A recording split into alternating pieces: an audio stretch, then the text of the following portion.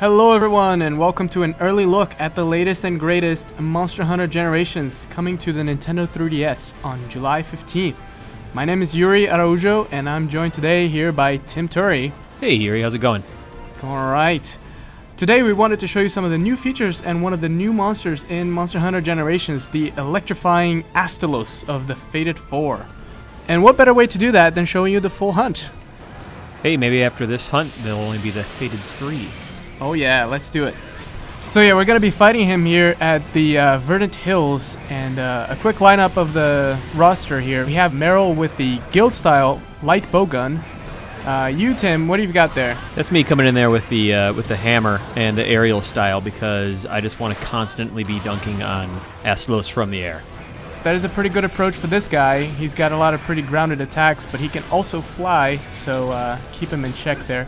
I've got the uh, Adept style uh, Sword and Shield.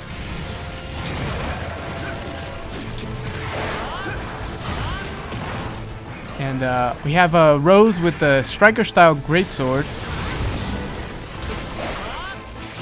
Oh man, look at that. You see, you just gotta break his back with the hammer, jump on there, and uh, show him who's boss. That's right. In this game, once a person is mounted, everybody else can actually chip in and uh, help with the uh, that blue meter right there. If you keep attacking, it actually help the person who's mounted it. Yeah, thanks for the assist. No problem. I think uh, Meryl did a lot of the work there. You gotta go straight for the head with the hammer every single time. Yeah, you're looking to build that KO damage.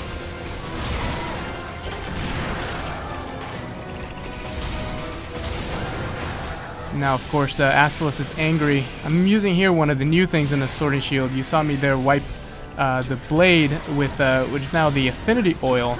Uh, it's gonna have a slight red glow, and uh, my chances for critical hits increase. Yeah, let's see how you do.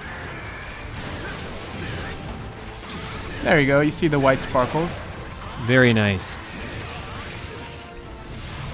Rose coming in for the charge. Wow, that, that was a nice uh, swing. Speaking of charges, uh, the Astalos with uh, its electricity will charge up its wings, head, or tail, and uh, making it way more deadly than it should be. So uh, if you target those areas, it'll knock him back and reset some of his damage potential there.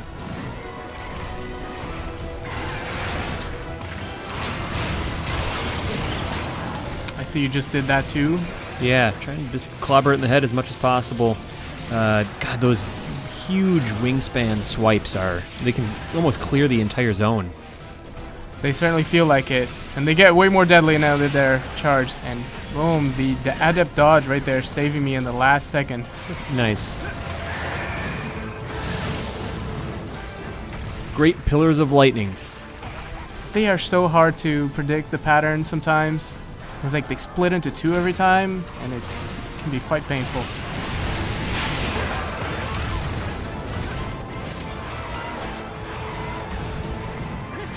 Ooh, Meryl trying to line up the perfect shot. And gets punished for it. She should have just gone for it. Oh, there we go. We get some revenge here, starting with uh, Rose uh, unleashing the uh, ground slash hunter art. But look at you get in there. Oh man, yeah, that was the uh, Shoryugeki where I do a huge uppercut. Does a lot of impact damage too, so uh, it helps out with uh, all your hammer strikes there. I'm just gonna jump around all over the place and not really do anything. Oh, you see here uh, what Meryl just did, uh, a couple of uh, paralysis shots, and now line up her uh, hunter arts right here. Ooh, Rose got caught in the line of fire a little bit, but it's okay. Shot still made it through. Let's see if I can help. Oh, nice. Astalos is getting real upset. Oh, he is. Now, you just shoot that lightning straight out of his tail.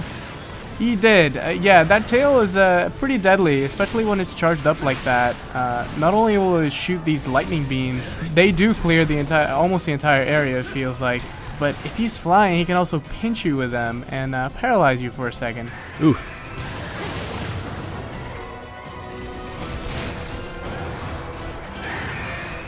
Oh, time to set up a trap. See if he takes the bait. Oh, right into it. Time for those big hits. Well earned. It's, it's party time. It's like a pinata. Everybody's got to get in there. It's a good way to put it.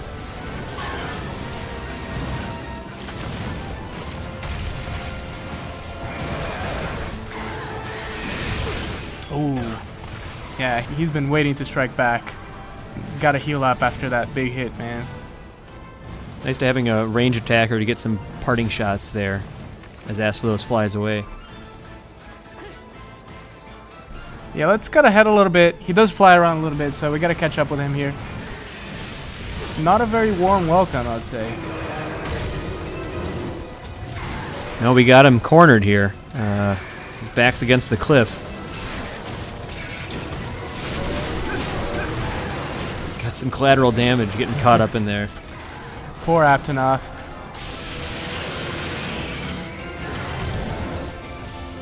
Meryl again with the uh, crag shots. These uh, stick to the enemy for a second and then they explode, which is, uh, yeah, it's quite powerful.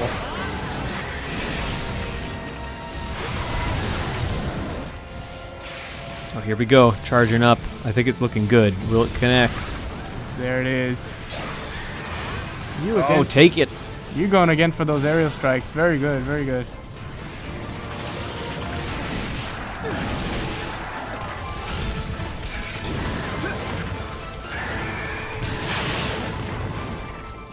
Another adept dodge. Nice One more. timing. Oh, Can't win them all. yeah, it's almost like he predicted that. We got another trap going on here. Uh oh. Ooh, ooh. Oh, that was close. Let's see if it works. Well, if it doesn't, we just gotta lure him back on the other side. Everyone forms up. We did good damage last time. Yeah. Oh, hole in one. Wow.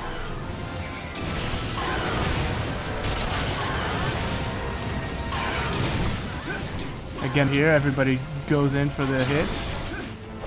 If you hit too much though, your weapon will lose some of its power, and this is uh, indicated uh, by its sharpness. It's because you attack so fast. Yeah, fast striking weapons do tend to lose sharpness more often, but uh, you can always regain that with the whetstone. So now A- Astalos drooling and limping. Uh, I think I might know where where he's headed. Yeah, that's uh that's not looking good for him there.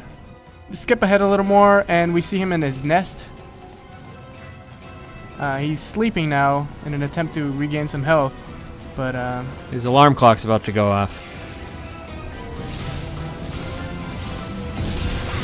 Oof. Okay, that'll do it. and there you have it. The monster is down and the hunters reap the spoils. Nice. Now everyone can go back to town and create rad new Astalos equipment. If you want to see what those look like, follow us on Instagram at Monster Hunter Game, where we'll be uploading photos of all sorts of cool Monster Hunter Generations art, including a look at some of the new gear you can make based on the Astalos and other monsters. Once again, Monster Hunter Generations will be available on the Nintendo 3DS on July 15th. Thank you so much for watching, and make sure to tune in next time for a hunt against the mighty Gammoth. Thanks for watching, everybody.